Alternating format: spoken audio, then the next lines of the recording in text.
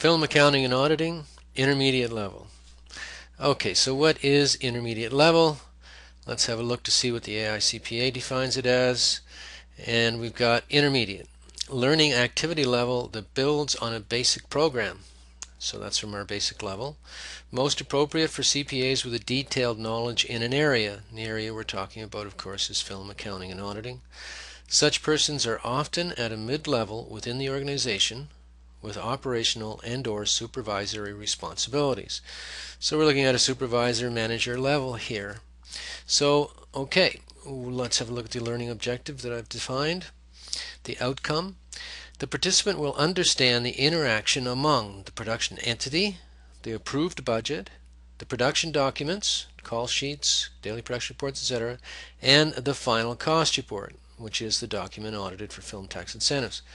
And from this understanding, the CPA will be able to plan the tax credit audit of the film or television production with greater certainty that all industry specific factors in the state's audit instructions are understood and can be properly addressed.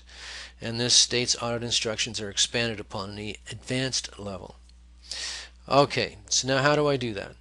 So we've got it broken into four parts. First part here is the production entity and intellectual property rights. I thought you should understand something about the some legal aspects in the way the entity is treated. And part two, the film production. Again, the film production budget, I should say.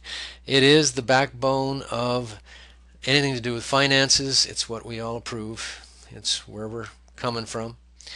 Um, and I did mention here that uh, there's a video after the uh, introductory page, and the video is just conversational style, one professional talking to another, and then after the video is over, then you can re-go through the material that comes after the video and uh, reinforce it for yourself.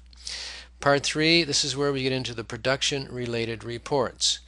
Now I did want to give you one quotable quote. Here it is here from the state of California. It says CPAs must inspect all call sheets and production reports even if filming days were incurred prior to acceptance into the program.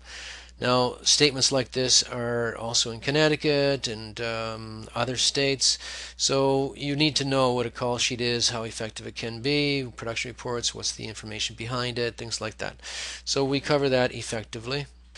In part 4, we go over the general ledger software, the structure, the way tagging is used, that is how you tag each individual line to help with the tax credit audit and how you can actually insist that the production accountants do that sort of thing.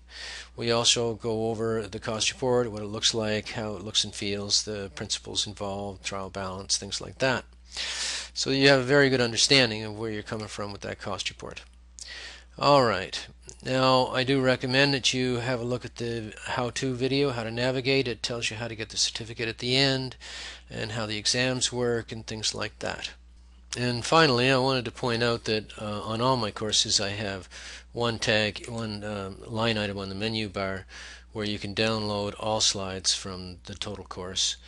And in this case, there's like 56 pages.